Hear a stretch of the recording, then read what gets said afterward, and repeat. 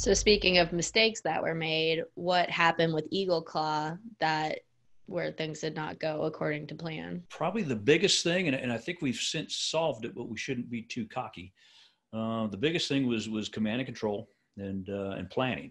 So you had different units, uh, disparate units. I mean, the Air Force had their own special ops guys, the Army had their special ops guys, um, as did the Navy. So as, as you're looking at that, we uh, so we had the Rangers, Army guys, uh, the best aircraft that were out there at the time because we're just starting to incorporate the UH-60 into the Army. You know, the, the but we're still flying skid-mounted Huey helicopters from Vietnam era, right? Some of them actually still had holes in them that were uh, just had 100 mile an hour tape over them. So uh, depending on the unit, crazy, isn't it? so they had uh, so you got these Air Force helicopters, which were the best in the world at the time. They had advanced avionics on them. They were armored up. They, they were actually the same birds that went into the Son Tay raid uh, mm. in Vietnam and uh, the, the uh, MH-53s. Had a big old 50 cal on a back ramp. So, uh, so we're like, we like that one. So the Air Force guys got the nod, and uh, again they got the advanced avionics. So, but then we had to, as Rangers, Army guys, we had to learn, you know, what are the freaks? What are your call signs? What are your standard operating procedures for getting me, an Army guy, on and off your airplane? And uh, so once we worked through that, you know, there were some there were some tactics, techniques, and procedures and standard operating procedures that we had to go through. And uh, so we're good, right? But then as the plan morphs, they're looking at it and they say, you know, in order to get close, we've got to be able to take off from an aircraft carrier deck. And right then they're like, whoa, whoa, whoa, you, you Air Force guys, you're not qualified to do carrier deck landings. You know, that thing's moving. And mm. uh, so we got to bring in the Marines. Now, the Marines also had 53s. Um, they weren't as heavily armored, so you could get more guys on it, which is a plus.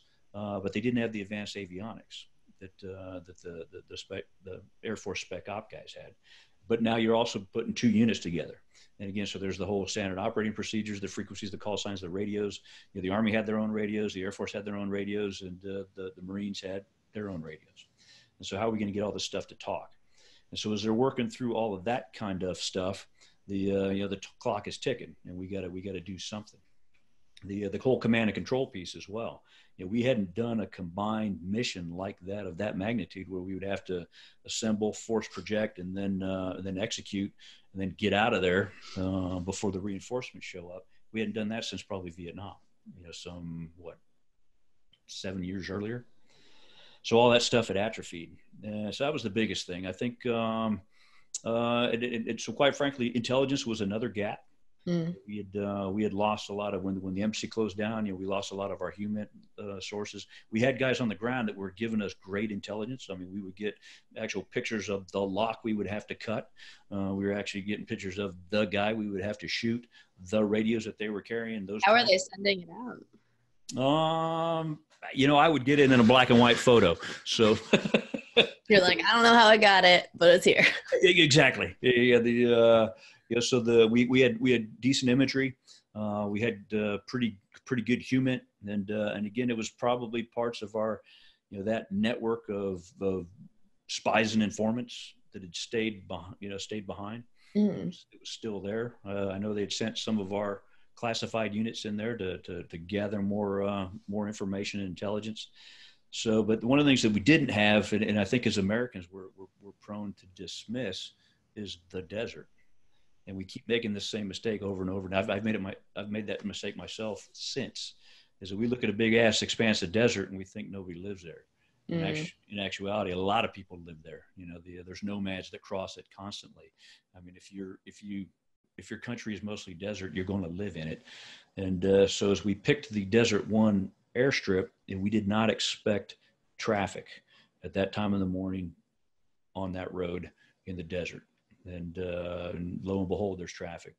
You know, big old um, tanker rolls through. You know, petrol tanker rolls through. They fail to stop, so the Rangers, uh, the security element, pops a law into their cab and stops the truck.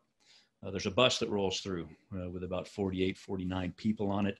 And uh, so we pull them, they did stop. We pull them off to the side. We pen them up. So now you got POWs. Mm-hmm. And, uh, and they're not even combatants, you know, they're just regular. They were just on the bus. Trying to get somewhere. So, so you got that going on. So there was, so there were some intelligence gaps that, hey, we did not expect people. So now the mission's already blown at that point. You know, it's, it's not blown, but at least compromised.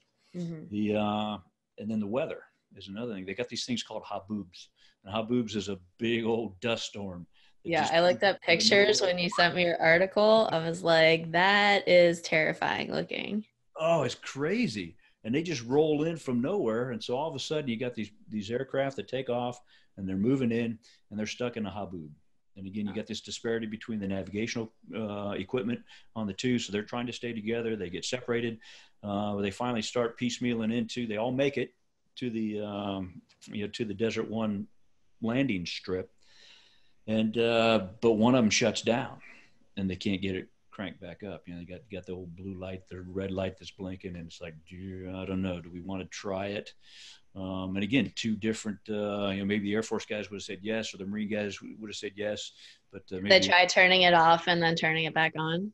Yeah, because I mean, and, and again, it's the the dust, the sand, the uh, it's just it's killing these engine parts, mm-hmm. and uh, you know, because again, the the filters. We know so much more now about flying in brownout and flying in dust, and and uh, you know how those machines operate. At that time, not so much. Mm-hmm. So now we uh, we have a conundrum in that uh, we don't have enough lift. You know, with one bird down, we don't have enough lift to uh, to get all the assault force up into the mountains for re- remain overnight and then go in and take the uh, the you know, execute the mission in the next period of darkness. Mm. Uh, so we didn't have enough time to obviously clean up that site, get all the guys on the birds enough lift to get in. So uh, so they called the mission. Uh, one of the other uh, problems was not all the, the aircraft had uh, in-flight refuel booms. That's why we had to land there in the desert in order mm. to refuel.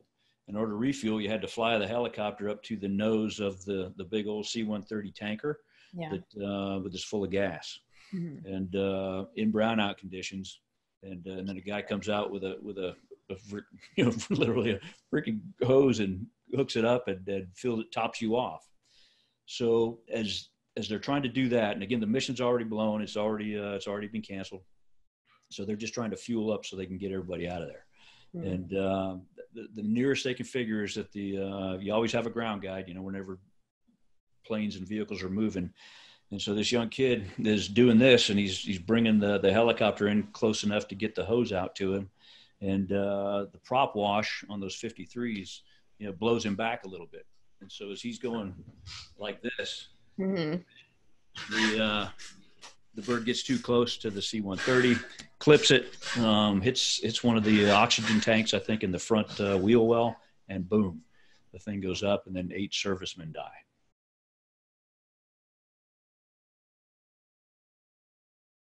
And uh, so, big uh, big kick in the jimmies, the you know the loss of life, but then also the the ability that uh, hey, America can't launch a raid like this. Yeah.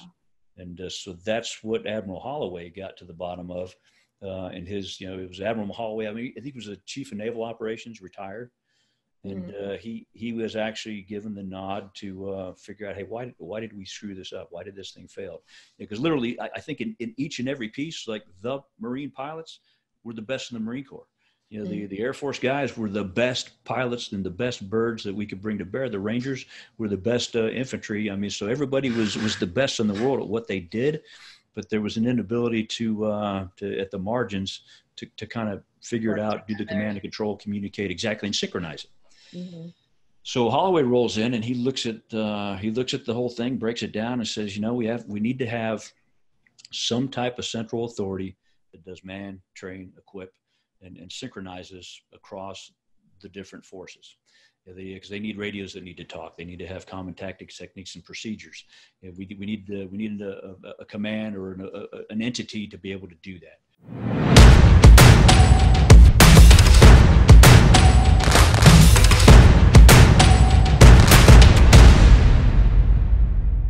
We're, we're not doing it, and uh, and they sit on it. Scratching. Exactly for uh, no, yep, it's yep. dog scratching. Oh yeah, yeah. I got two. Uh, I got two of them sitting right here. Come here, buddy. I can hear them. Everybody, everybody likes to see the corgi. Hey, buddy. Hi, hi, Simba.